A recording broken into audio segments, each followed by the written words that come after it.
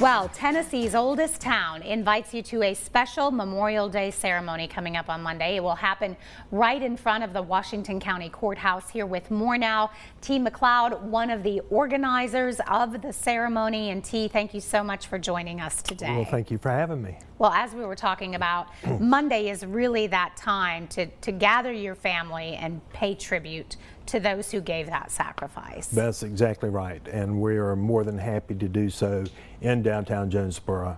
Those flags uh, fly there around the courthouse for a, for a reason, and that is to to be able to honor and respect the people that have paid the ultimate sacrifice um, through their branch of military. And what a beautiful setting for a service. And you were telling me you, you shut down Main Street right there for the ceremony. Right, we're going to shut down Main Street for about an hour and a half uh, this year. Uh, it'll close about 11:45, and the ceremony will start promptly at 12 noon. Uh, we'll start the ceremony with the uh, Daniel Boone Marine Junior ROTC Color Guard. Major Cessus and his cadets will be there. Um, then we'll have taps played, and then we will have citations read from um, service members who paid the ultimate sacrifice from World War I to the present. And then we'll have some musical performances by Jonesborough Repertory Theater. They always do a great job. And then the Appalachian Express Chorus will come and uh, entertain us for, with a few numbers.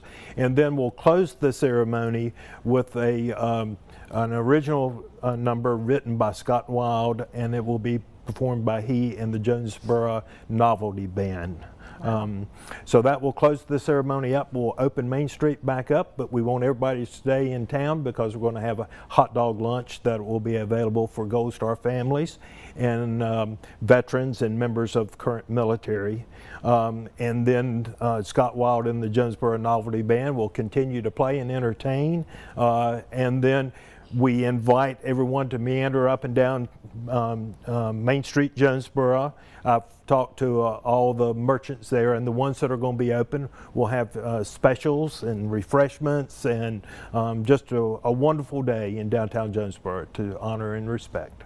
It sounds like a lot of people in the community want to be part of this very yes. special day. Yes, yes. I think everyone in Jonesborough just really appreciates Uh, what has been done for Jonesborough and this country by the service members who have served and paid that ultimate sacrifice. And of course, we are looking at video from years past, and you can see a lot of families coming out. It looks very moving, yes. very powerful, very emotional. Yes, it is. Yes, we do. We do that, uh, uh, and we think it's just a great way to honor and respect and mourn those um, who've made that ultimate sacrifice. And I love the small town feel in Jonesborough. It really is the community coming together to support those around them. Yes, that's exactly right. Uh, downtown Jonesborough is just a great place to be, and we have a lot of people relocating to Jonesborough mm. because of this fact,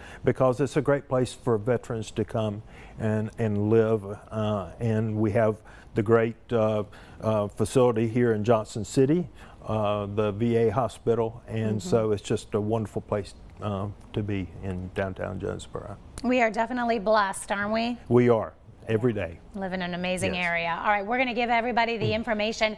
This ceremony, as he mentioned, beginning at noon right there in front of the courthouse in downtown Jonesborough. And of course, you can find a list of all of the Memorial Day ceremonies and events happening all across our region on our website, WJHL.com.